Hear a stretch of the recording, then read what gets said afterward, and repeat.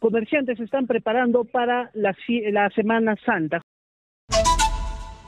Nos vamos ahora a Huancayo con Ronnie López. Ronnie, buenos días.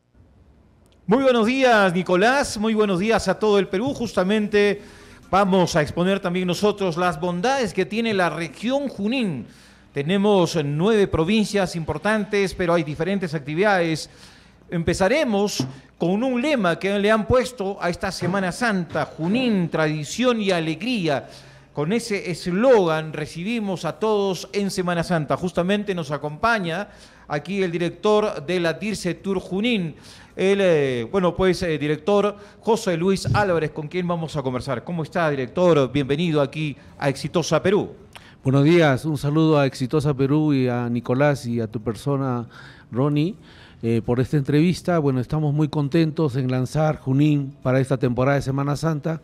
Junín es considerada por Jorge Yamamoto y muchos investigadores la región más feliz del Perú porque tiene la alegría, la danza, la gastronomía y esta Semana Santa ofrece en el año del Bicentenario de la Batalla de Junín una oferta, digamos, de espectáculos, danzas y gastronomía de las dos, eh, digamos, subregiones de nuestra de nuestro Junín, que es la zona selva y la zona eh, sierra, el valle.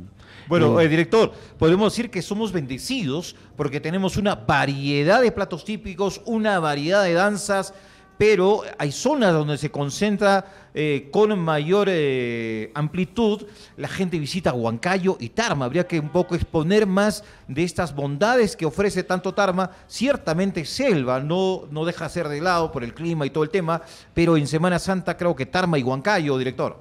Sí, Tarma porque en Tarma se presentan las alfombras de flores traídas por las comunidades, un concurso ya milenario donde se expone pues una el arte eh, de las flores y, además los arcos. Hay una variedad de potajes, las siete sopas que le llaman y que es gratuito para los turistas.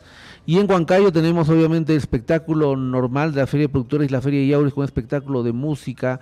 Ahora se va a escenificar Jesucristo Superstar. Y en Junín también vamos a tener la escenificación del Caballo de Cristo que está presidido por nuestro alcalde de Junín, quien hace, simula hace más de 20 años la figura de Cristo. En Acoya, Jauja, tenemos la escenificación de la Majestad de Cáceres, la tropa de Cáceres, que también es milenaria, una forma de cómo se recrea la memoria histórica en un evento tan especial como es la Semana Santa. Tenemos en Concepción igualmente la escenificación. Eh, en Selva Central, obviamente la naturaleza y la alegría de la cultura shánica, la identidad.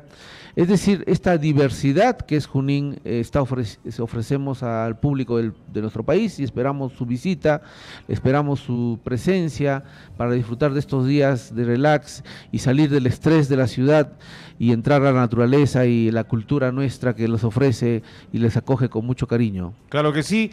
Vamos a ir ahora con nuestro colega Cristian Canchapoma para que muestre algo que ofrecen los artesanos aquí de la región Junín si estamos con Cristian Canchapoma brevemente y nos alcanza y también cuáles van a ser las expectativas que tienen nuestros artesanos de esta Semana Santa. Cristian, adelante, lo escuchamos.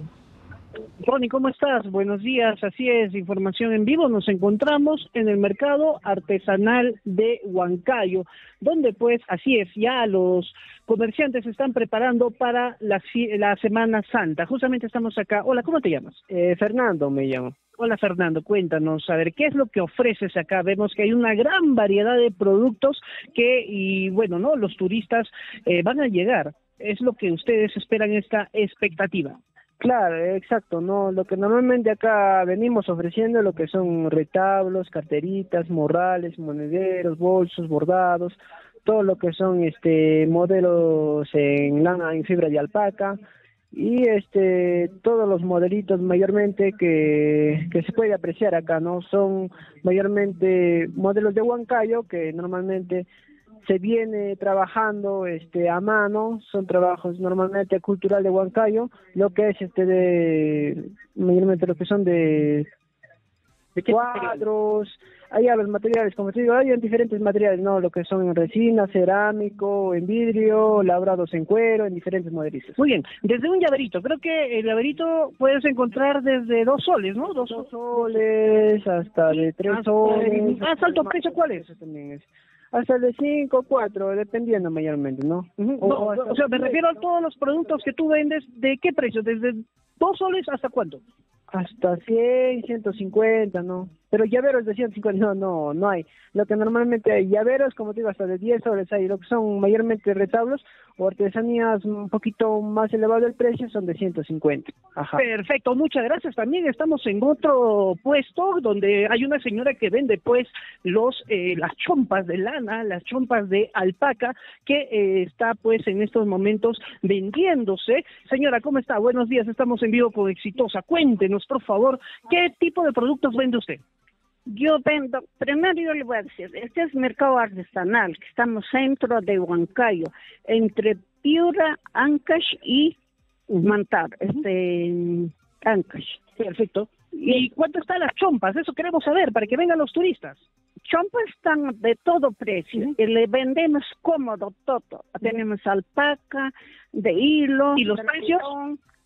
Los precios están a 40, 45, a 50, depende de su calidad. Perfecto, Depende señora. Perfecto. Entonces que vengan los turistas al mercado artesanal de Huancayo, donde van a ver pues todos esos productos, desde ropa hasta adornos. Adelante contigo, Ronnie.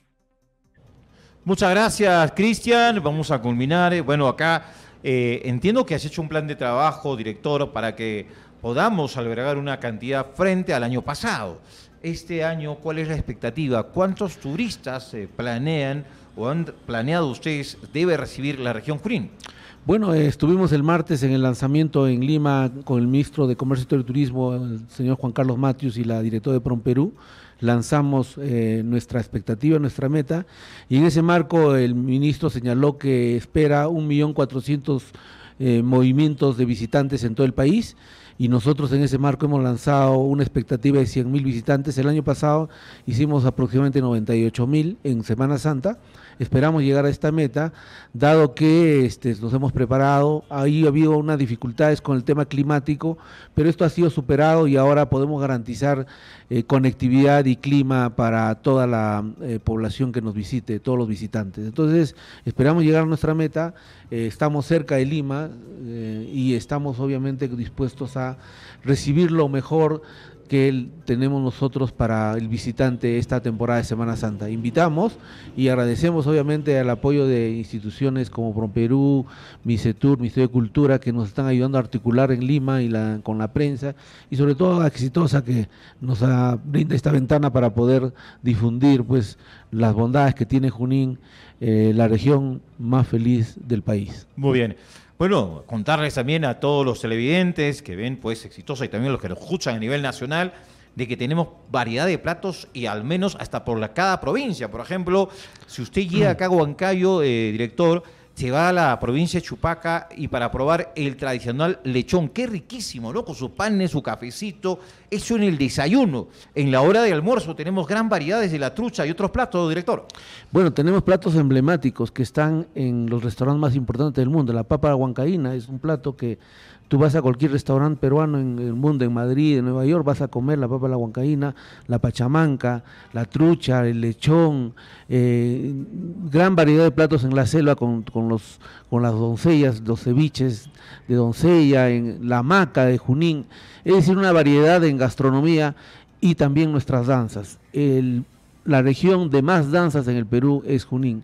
Tenemos más de 365 danzas y cada día algún pueblo celebra alguna festividad. Entonces invitamos esta Semana Santa, pero también cualquier fecha del año. Cualquier fecha del año, Junín es todo el año para el turismo, pueden disfrutar eh, un calendario festivo muy amplio y sobre todo la alegría de nuestra gente que siempre lo va a recibir con los brazos abiertos. Muy bien. Entonces, Nicolás, ya lo sabes, Nicolás también estás invitado a Huancayo. Aquí te esperamos, ¿ah? principalmente los prototipos, los lugares para que puedan visitarnos.